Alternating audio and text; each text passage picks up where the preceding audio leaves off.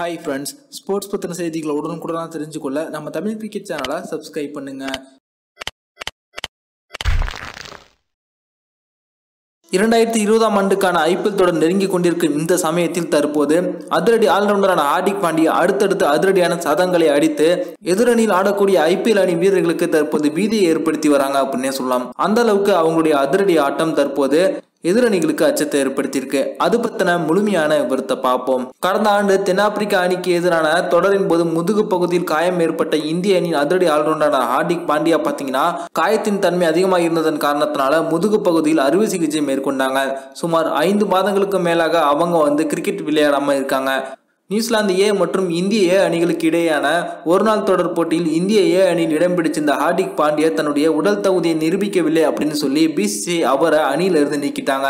இதனைத் தொடர்ந்து தற்போது கடுமையான பயிற்சியில் ஈடுபட்டிருந்த ஹார்திக் பாண்டியா பார்த்தீங்கன்னா உள்ளூர் டி டுவெண்டி தொடரில் விளையாடுறாங்க. அதாவது டிஒய் பாட்டில் அப்படின்ற டி டுவெண்டி தொடரில் ரிலையன்ஸ் ஒன் அப்படின்ற ஒரு அணிக்காக விளையாடுகின்ற ஹார்திக் பாண்டியா பார்த்தீங்கன்னா தொடர்ந்து அதிரடியாக விளையாடி வந்துட்டு இருக்காங்க கடந்த மூன்றாம் தேதி ரிலையன்ஸ் ஒன் அணிக்காக சிஏஜி அணிக்கு எதிரான போட்டியில் விளையாண்ட போது முதலில் பேட்டிங் செய்த ரிலையன்ஸ் ஒன் அணியில் ஹார்திக் பாண்டியா நான்காம் கால வீரராக களமிறங்கி முப்பத்தி ஏழு பந்துகளில் சதம் அடிச்சாங்க.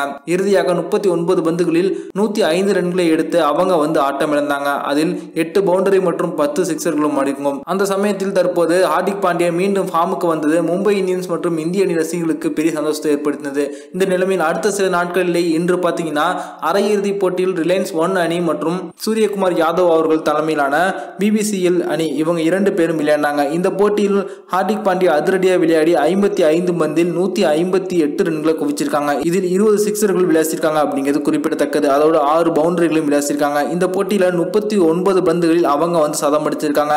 கடைசி பதினாறு பந்தில் மட்டும் நூற்றி ஐம்பத்தி எட்டு ரன்களை அவங்க குவிச்சிருக்காங்க.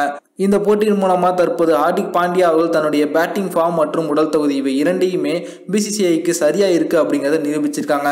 ஐபிஎல் தொடர் நெருங்கி கொண்டிருக்கும் இந்த சமயத்தில் தற்போது ஹார்திக் பாண்டியா அவருடைய இந்த காற்றடி பார்த்தீங்கன்னா எதிரடி வீரர்களுக்கே ஒரு பெரிய பயத்தை ஏற்படுத்தியிருக்கு அப்படின்னே சொல்லலாம். குறிப்பாக மும்பை இந்தியன்ஸ் ரசிகர்களுக்கு இது ஒரு பெரிய சந்தோஷத்தை கொடுத்துருக்கு. இந்த வீடியோ உங்களுக்கு பிடிச்சிருந்துச்சுன்னா லைக் பண்ணுங்கள் ஷேர் பண்ணுங்கள் நன்றி.